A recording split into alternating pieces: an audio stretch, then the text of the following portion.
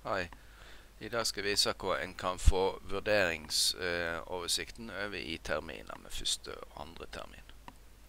Det jeg må gjøre da, jeg vet at jeg nå ikke har gjort det her, det er at jeg eh, eh, trykker på innstillinger, fagegenskaper og funksjoner, og så her nede legg til termin. Dette er veldig greit at en har kanskje gjort det helt ved skolestart, sånn at en slipper billigere runde, eller en enklere runde senere.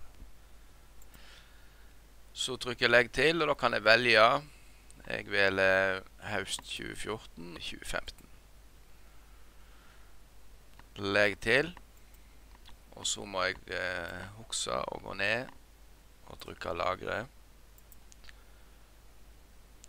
Men så er det at hvis jeg nå går på statusoppfølging, vurderingsoversikt, så er det datt vekk alle mine vurderinger som jeg hadde her. Derfor så jeg manuelt inn og trykker på vurderinger. Og jeg må manuelt legge det inn igjen på nytt.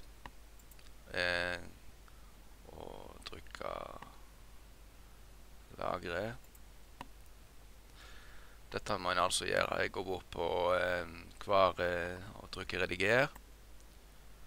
Går ned og trykker lagre. Sånn at eh, når en trykker på eh, rediger Her er det òg en, eh, en egenvurdering som ikke er Det er bare en samtale som skal inn. Eh, så ser en òg her at en kan velge hva termin en kan bruke.